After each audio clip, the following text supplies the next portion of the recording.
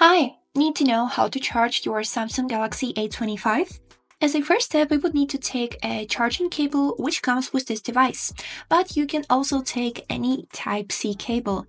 So currently I have this non-original cable which is on one side Type-C on the left and on the second side this is USB Type-A on the right.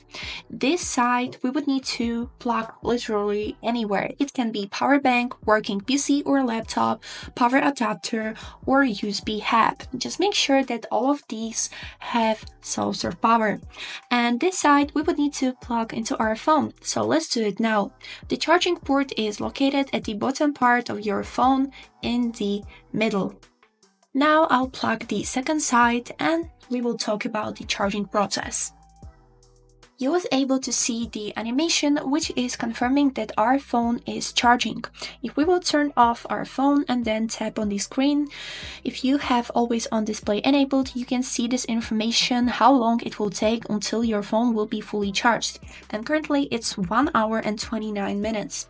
So usually to fully charge your phone it takes about hour and a half but it also depends how powerful is your power adapter. And this is it. I hope this video helped. Thanks for watching.